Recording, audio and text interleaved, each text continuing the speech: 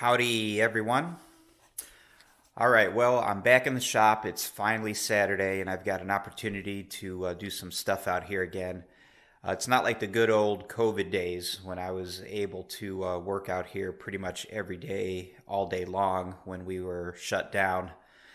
So now I'm basically just out here on weekends, which kind of blows, but uh, that's how it goes. I really miss the uh, the good old COVID days, but that's how it is, and here we are. So, even though I only have basically weekends to work, um, I still don't get as much done as I would like, just because, of course, there are other things that need to happen on weekends as well. So, the videos have slowed down quite a bit in frequency, and uh, the amount of work getting done is slowed down quite a bit. But still, I come out here, I do what I can with what I have, and uh, we'll get this thing built and we'll get it flown.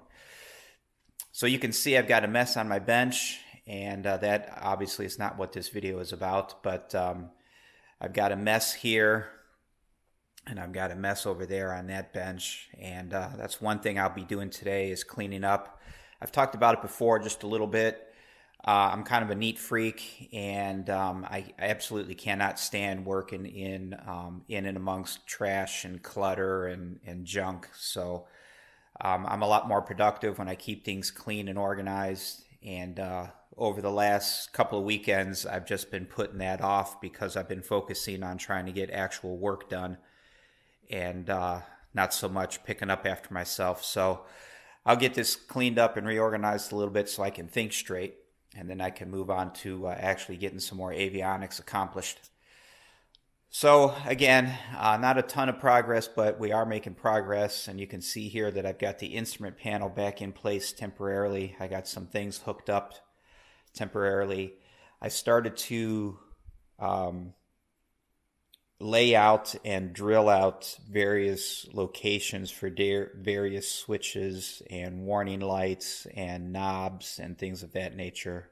This is in work, of course. This isn't done. I've got more things I need to populate but I just got started on that, and I'd have a. Uh, it's not a major screw up, but it's it's a really irritating screw up. So I've been working on um, my ELT, the the orange ELT back here. That's an ACK E04, and it has the capability of uh, connecting to your GPS unit and um, it will send out GPS coordinates if it's activated if you have it connected to a GPS unit. Now I have multiple ports on my GPS unit. I'm using a SafeFly GPS, which is not this black box, but this second box back here. It has multiple ports on it, but they're like teed together internally. So I'll have like serial port one and it will have two outputs, but it's they they share the same connection, if you will. That way, you don't have to run multiple. Um, you don't have to tee into that port yourself. There are multiple connections for a single port. The problem is when you go into your EFIS and program it, even though let's just say, uh, let's just make up a number here, right? So on the back of that GPS, let's say that serial port 3 has four connections. You can connect four items to serial port 3 just as a just as a made up scenario you have to program the baud rate for that for that connection for for the uh, serial port 3 and let's say you're running something important let's say that that's going to be your navigation source for your EFIS or for both of your EFISes so you may set that baud rate really high so the other three connections that you plumb into that port are all going to be at the same baud rate. You can't select individual baud rates for that one port that has four connections. So that's the problem. I have, there are actually three individuals ports, and some of them have multiple connections, but I already have all three of those programmed at a pretty high baud rate because they do mildly important things, right? That ELT is only capable of going up to 9600 so even though I have multiple ports still open, I can't really use them for the ELT because the baud rates are already set for other things, and there's a there's a disconnect. So I don't know what I'm going to do about that at the moment. But if anybody's got suggestions, I'd love to hear them. So the, the screw up is while I was working on that, on that, I thought, all right, let me get the rest of this ELT connected. So I went ahead and put a hole in my instrument panel right here. And that is for your on-off test box. This gets mounted in the panel. So I went ahead and of course I had the instrument panel off of the airplane and I was laying out all these different locations for switches and knobs and lights and stuff. And I went ahead and I laid this out and I obviously went ahead and cut the hole and everything was going fine and dandy. And then I put the instrument panel back on the airplane and this is what I found out. This will not fit that's it. That's as far in as it will go. Because I completely spaced the fact that I've got my VPX back here. And you can see that that is not going to work. Now I got lucky with these other units back here. These couple of switches and knob units back here, they fit just fine. There's, there's clearance there. And I got lucky with my USB port here. But this is the only thing that I did not get lucky with. So unfortunately, I screwed that up. I'm going to have to relocate this. And I'm going to have to make some kind of a cover plate to cover up this big honking hole. Now, the good news, if you can call it that, there is um, at least one warning light. And I may end up having to put in another couple of lights or maybe another couple switches, but I know for an absolute fact I have to install one more warning light. So I'll probably put a cover plate over all of this and put that warning light right here. It's going to be kind of out of place. It's going to look kind of janky perhaps, but there's no way on this or any other planet I'm going to re I'm going to purchase a new instrument panel and do all this over. So I'm going to take the easy way out. I'm just going to put a cover plate here. It's going to look stupid put something in it to, to uh, fill up this gap. And uh, this will probably get located up here somewhere or maybe down the line somewhere further. So that's going to be on today's agenda to make that cover plate and then relocate that, uh, that little black box. Other than that, uh, so far I haven't screwed up anything else that I'm aware of. Um, I got to figure out what to do with the ELT. Like I said, I got to figure out what what to do to get that uh, 9600 baud rate GPS signal to it.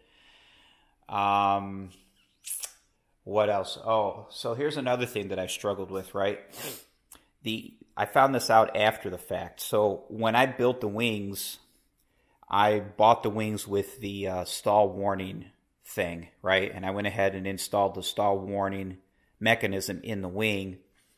And now I'm at the point where I need to install the electronics, right? So here's the little box, the little electronic box for the stall warning. This gets connected uh, somewhere up front, the audio warning. So I bought all that, you know, years ago when I when I bought the wings. Fast forward last year is when I bought the EFIS. It hasn't even been a year yet. I bought the EFIS in um, March of last year.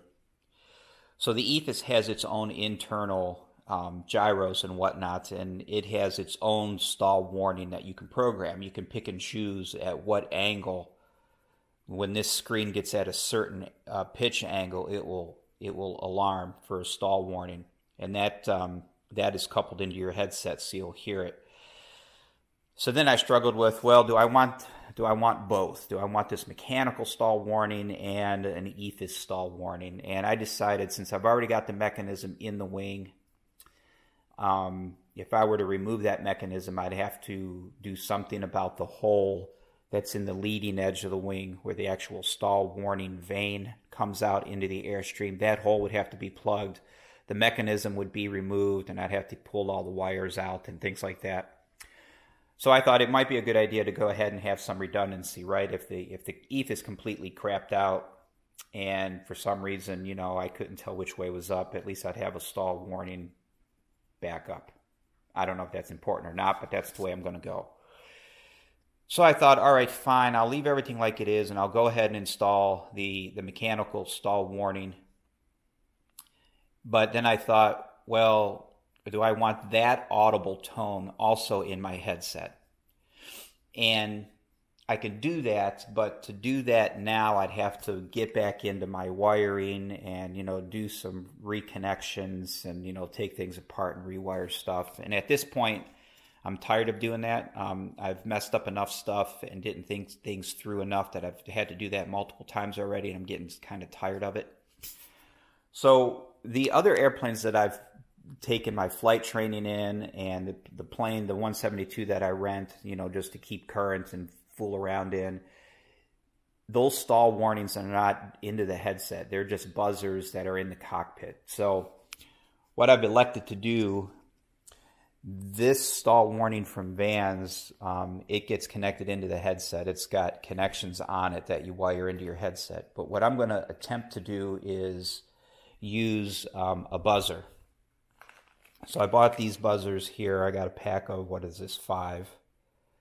Really cheap. Um, obviously, I don't need five. I only need one and maybe a spare. But I bought these off the internet and... Uh, I threw a nine volt battery on it real quick, and it's it's definitely um, an attention getter. So I'm going to see if I can wire that to this little board. So this little um, stall warning circuit board is going to get mounted behind the instrument panel, and I'll connect that buzzer to it and see how it works. Because I don't know what the voltage is coming out of this. Um, so I don't know if this will drive a uh, an audible alarm or not, but that's on the agenda too for this weekend. After I get the um, after I get the instrument panel recut for this guy and that cover plate put on, I'm going to focus my attention um, and see if I can't get this hooked up and see if I can't get that buzzer to, to work correctly. So that's kind of where we are at the moment. We'll see how that stuff goes. And um, I don't know if I'll have anything else to talk about between now and next weekend, but uh, if not, I'll talk to you guys next weekend. And if something happens between now and then, I'll I'll put up another video and I'll see you then. All right, talk to you later.